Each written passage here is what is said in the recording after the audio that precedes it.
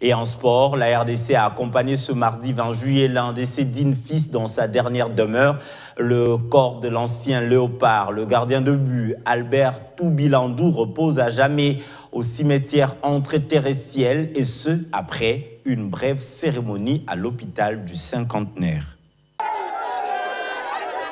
C'est au terme d'une brève cérémonie à l'hôpital du cinquantenaire que la famille biologique et l'ensemble du mouvement sportif ont fait leurs adieux à l'ancien international congolais, champion d'Afrique et mondialiste 1974, le gardien des buts Léon Toubilandou, dit Grand dont l'absence s'écoute déjà ses enfants. Et je dirais à tes petits-fils, quel bébé formidable tu étais. Adieu papa et merci. Une cérémonie pleine d'émotions, ponctuée de quelques témoignages des uns et des autres. Tubilandu azalaki moninga, pe azalaki leki.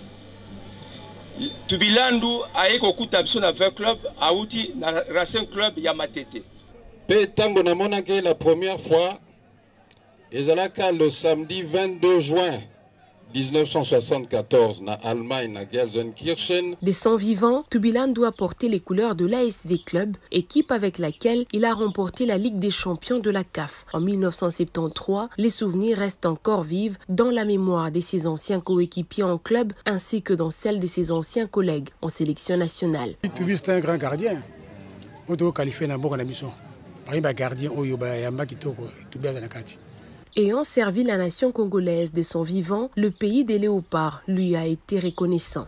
Remercier sincèrement l'Excellence Monsieur le Président de la République, Félix Antoine Tshisekedi Chilombo, le Premier ministre Samalou Kondé, le ministre des Sports et Loisirs Serge Kondé Tchebo, la Fédération congolaise de football association pour nous avoir permis, malgré les temps difficiles, de rendre les hommages dû à un champion. Effectivement, les champions ne meurent pas.